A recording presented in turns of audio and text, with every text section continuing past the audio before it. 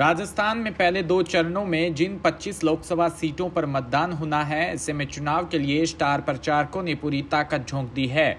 कांग्रेस ने नेताओं के चुनावी दौर के कार्यक्रम तय करना शुरू कर दिया। केंद्रीय नेताओं ने राहुल गांधी का 11 अप्रैल का दौरा तय किया।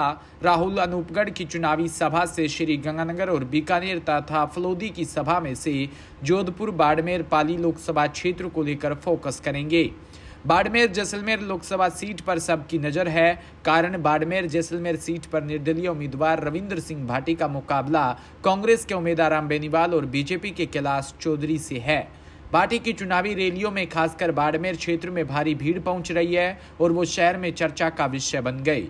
ये दिलचस्प त्रिकोणीय मुकाबले की ओर इशारा करते हुए बीजेपी और कांग्रेस उम्मीदवारों की मुश्किलें बढ़ा रही हैं। माना जा रहा है चौधरी के पक्ष में समर्थन जुटाने की कोशिश के लिए प्रधानमंत्री नरेंद्र मोदी के भी बाड़मेर में एक जनसभा करवाने की संभावना है। यानी भाटी के तूफ़ान को रोकने पीएम खुद मैदान में पहुँचेंगे।